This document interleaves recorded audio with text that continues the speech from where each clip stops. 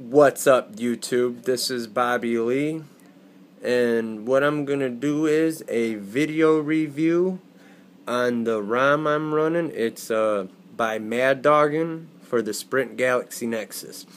Um, right now, he just released it where you could uh, change the navigation bar color and the heights and everything. So uh, it's a rather new one. It's in testing still, but I wanted to get a uh, review out on it as soon as possible to get this out there to everyone else who has a Sprint Galaxy Nexus. Um, this is by far the best ROM that I have had on my uh, Nexus device. It is Jelly Bean. Uh, everything is fully functional. It works perfect. You know, it's amazing how smooth it is and just how great it is overall. But uh, if you see, we'll go into the settings. Let's see, show you could scrollable note toggles up there.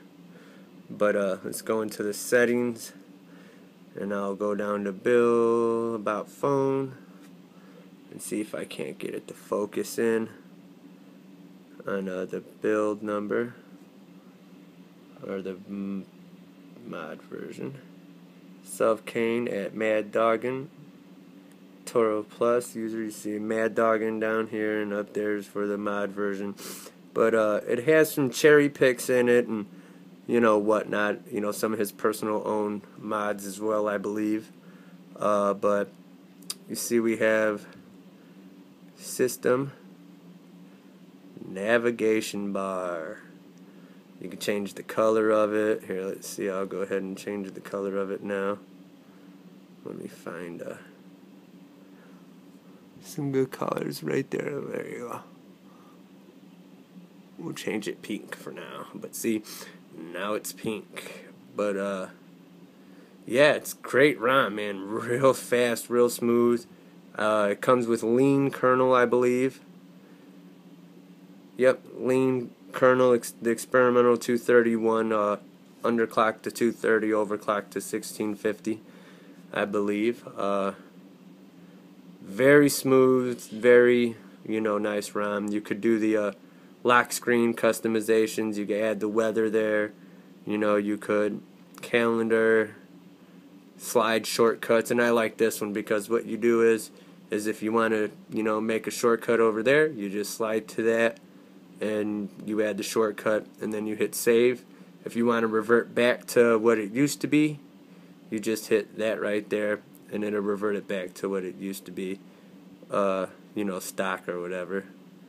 So, uh, you know, it's really good ROM actually, very good ROM. I uh, dig it by far. My favorite ROM that is out. And that's the color I'm going for with that for now. But uh, you see, it's very smooth very fluent, no lag whatsoever. Everything is just so nice. Now it does come pre-installed with Nova launcher and the stock launcher. I prefer the stock over Nova. That's just my opinion. Nova has a bunch more customizations that the uh, stock one don't have. I mean, you see how smooth that is. It's just beautiful. But uh, so what we'll do is is let me go ahead and go to performance. Uh, let me change some stuff real quick, and I'm going to run a quadrant because uh, I'm not going to overclock it as high as it goes because for some reason I noticed my phone doesn't do too well when it's overclocked as uh, high as it could go. But uh, we're going to go ahead and do a quadrant. And I'm sorry about the video quality that it's horrible. Uh, try to get it to focus in as much as I can. I have horrible lighting where I am. But uh, it should blaze right through quadrant, so uh, we'll go ahead and let it run through. But there's a lot more customizations in this bad boy now than the one that he just released a couple days ago. Uh, like I said, this one's still in testing. It's uh, not in the o you know OP yet of the thread, but uh, I'm sure after a day he'll update it and put it in there for uh, all to download. but uh, it runs very great. It's very great ROM. This guy's amazing. Mad Doggin is amazing. He does very good uh, work.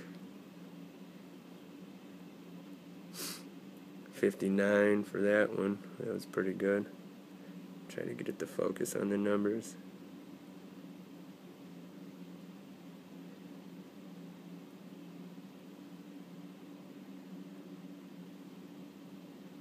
Pretty good on that one.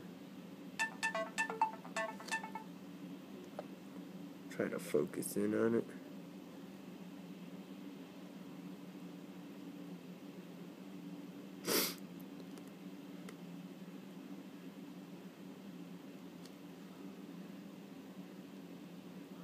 And here we go. Alright, yeah, see that wasn't a good one. I must have had a lot of stuff running. But I got 2,394. So, uh, you know, it's pretty good. That was a crappy benchmark to show, uh, so don't take that one for, uh, as that's what you'll get. But I just have a lot of stuff running, and I got a message in the, well, I think I got a message. It must have been my Nexus 7 that got the message.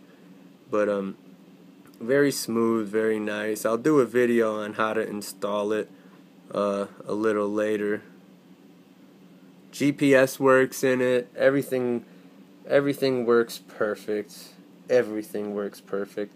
Let's go ahead and do one more uh, quadrant. We'll go ahead and bring it up all the way. And let me go stop some apps real quick. But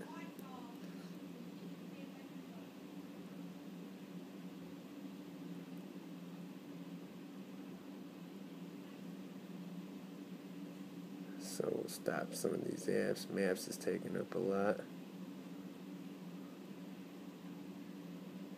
Okay. And now we'll go ahead and run it again. And this time we're overclocked to a 1650 I believe it is. So we should get a little better. Usually I get about 35 on his ROMs. So uh, on every ROM that I've downloaded from him, he's very very good dev, very good dev. Um, I'm amazed. I'm amazed. I've downloaded a lot of ROMs for my Nexus, a lot of them. And the only other one that is just as good is the one by Dreams Forgotten and Shabby Penguin, in my opinion. Them are the two best. You know, Shabby Penguin, Dreams, and Mad Doggin are the three best devs, in in my opinion. Um, the reason why, not only because do they develop good ROMs, but they also have a very good support for them ROMs. So if you have a question or you know you mess up and your phone's in a constant reboot or you know whatever, them guys will you know fight tooth and nail to to help you get your device back going and running perfect and smooth, you know, like as if it's theirs. So you know that's amazing that they do that. That was really low on that one. Like i said sometimes i mean my phone's really hot right now. I live in tampa florida. So i just got off work after being outside all day. I should have let it cool down a little bit. But you know it's just it's just a run through review of it. You know it's still in testing like i said. So uh might see that time i got 3014 right there, which is pretty good. You know, that's not the HTC One X, but we're messing with the dual core, not a quad core, so everybody knows that. So, you know, you see that. Uh, what else can I show you? Oh, it does have it so you could change the uh, color gamma and all that in there in advanced. You see, it gives you the option to change it all or, you know, game tuning, you know, whatever.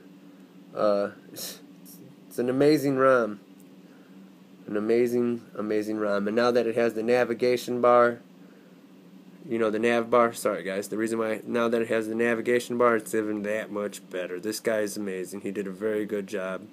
Um, Alright, thanks for watching. Subscribe, ask questions, you know, give a thumbs up, thumbs down if you like my video and you want me to do more. You know, let me know and uh, I'll be happy to do, you know, what you want or what you want to see or anything on it.